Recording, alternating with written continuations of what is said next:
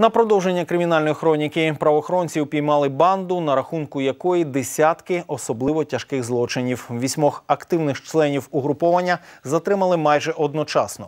Блискавичну спецоперацію одразу в кількох містах області провели як місцеві, так і столичні силовики.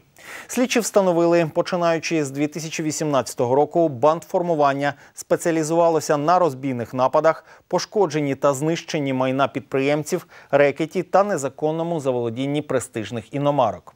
Жертвами гастролерів були заможні жителі Дніпра, Кривого Рогу та Павлограду. Під час обшуків у підозрюваних вилучили потужний арсенал вогнепальної зброї та великий автопарк транспорту, здобутого злочинним шляхом.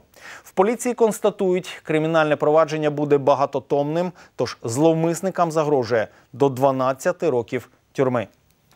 До складу банди входило майже три десятки осіб, переважна більшість яких раніше судимі або мали проблеми з законом. Крім перелічених злочинів, зловмисники причетні до створення місць розпусти, до втягнення осіб у заняття проституцією та сутенерства, до постачання наркотиків на території області та одержання доходу від збуту, до контролю та над незаконним видобутком вугілля на території териконів шахт західного Донбасу, до крадіжок вугілля з залізничних станцій, до контролю над діяльністю шахрайських кол-центрів.